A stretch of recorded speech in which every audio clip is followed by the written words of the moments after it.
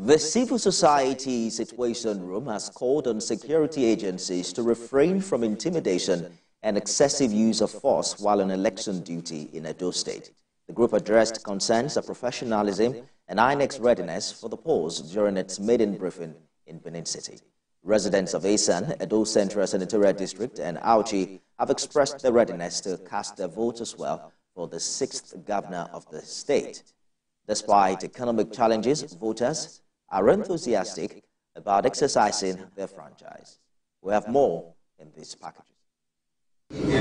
Civil society says the success of the election depends largely on the conduct of police officers. This is because they are the lead agency in providing security as registered voters in Edo State go to the polls. They intend to deploy 4,000 observers to the 18 local government areas to, amongst other responsibilities, monitor the performance of the police. The presence of security forces must not be seen as intimidating to voters.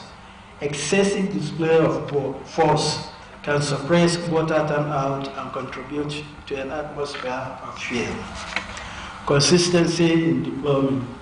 In the past elections, we observed that security deployment has been uneven with more officers concentrated in urban areas, leaving rural communities underscaled. Deployment must be evenly spread across both urban and rural areas to prevent isolated disruptions. Also under scrutiny would be the electoral umpires' use of the bimodal voter accreditation system and how they respond to the weather conditions. The bimodal voter accreditation system, BVAS, is expected to function optimally based on the reports from mock test.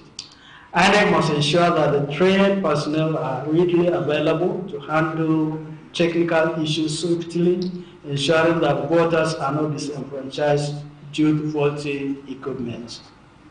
We expect that the Commission has communicated these plans to the voting community and relevant stakeholders and ensure mitigation mechanisms are put in place to address adverse effects of flooding during the election. The civil society situation room also warns political parties against engaging in vote buying, but they didn't stop there. The residents, the voters themselves, also have a role to play, and that's to refrain from selling their votes. Uche Okoro, TVC News, Benin City. The district is a crucial battleground with two leading candidates coming from the area. I'm not ready to vote. See my card. I will vote for who I like tomorrow. Lovett Egbemade's eagerness to vote resonates with many in the three Esan local government areas. No violence. What if it and declare our mandate tomorrow? We are prepared to vote. Well, I will say when you want changes, you go to vote. When you want a betterment of Edo State, you go and vote by special grace of God, I'm going to vote. Because I'm a citizen of this country. I can't deny my rights. I will go and cast my vote to whom I like. I will vote because of upcoming uh, governor. So that we are looking for the betterment of everybody of this country. Voters in Ekpoma, Esan West Local Government, Irua in Esan Central, and Uromi in Esan Northeast share their expectations from the eventual winner. So we need the right person to be there. So when the person gets there, please, you should help us. All this is very costly. You should help us to, to bring it down. That's what I want it, kind of is there, please. We want education, free education, or they reduce the price of education. So nobody can eat, eat a three square meal a day. This is the nation where we have oil. About our oil is a river that is a sea that it can never dry. If the if uh, we vote for a good governor, they say uh, uh, free education, well, everybody will be happy. At the INEC office in Uromi, security operatives and ad hoc staff make last-minute preparations for deployment to various wards and units as the Independent Electoral Commission deploys human and material resources for the conduct of Saturday's election, the people of Esan have expressed readiness to cast their votes for the candidate of their choice. Ikenna Amechi, TVC News, Uromi, Edo State. Since the Independent National Electoral Commission declared campaigns open for the off-cycle election some months ago, the stakes have been high, not just in urban centers, but in rural communities. With a voting population of more than 500,000, Edo North Senatorial District is considered a swing region with the potential to influence the outcome of the governorship election on Saturday. Topping the expectations from the new governor is better road network, economic empowerment, and access to quality education. Expectations for the next governor of the state is for that uh, governor, the incoming governor, to embark on, uh, on rapid development.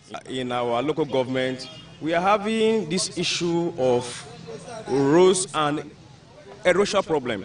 And again, our schools, our schools are in uh, are dilapidated. Security, your top priority. That's just it. If people are secured, they will go to farm. There will be produce, farm produce. People will be uh, able to feed comfortably. Even the the uh, the less privileged, they'll be able to take care of their children. Most of us depends on the farm. That's exactly what I want. I will still plead with the security personnel to be on ground fully, each of the units, in order to, you know, subside any conflict that we want to arise. Etsako West Local Government in the Edo North Senatorial District is one of the local governments identified as flashpoints for this election. We spoke with some residents of Auchi and they are pessimistic about elections on Saturday. Are you going to be voting on Saturday's election? No. You don't have confidence in any of the candidates? It's not as if I don't have confidence in any of the candidates, no. But the problem there is this is how we confided in many of them back then, whom later failed us. To douse the political tension in Etsako West, the police is deploying about a thousand officers coupled with sister agencies to 322 polling units across the local government. Sarah Ayeku, TVC News, Etsako West.